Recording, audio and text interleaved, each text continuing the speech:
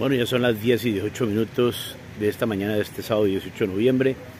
Y ya estamos en el tanque de senador de la quebrada Guarruz que hace su juntanza con el río Cañalejo que está al fondo. Como costumbre viendo las garzas, los gallinazos.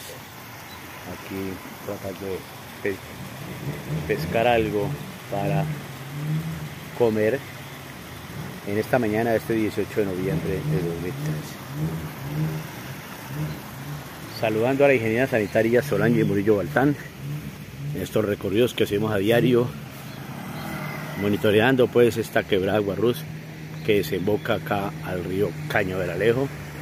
Hoy es 18 de noviembre de 2003 saludando a la ingeniera sanitaria Solange Murillo Baltán. Hay amenaza de lluvia, llovió en la madrugada, en la mañana.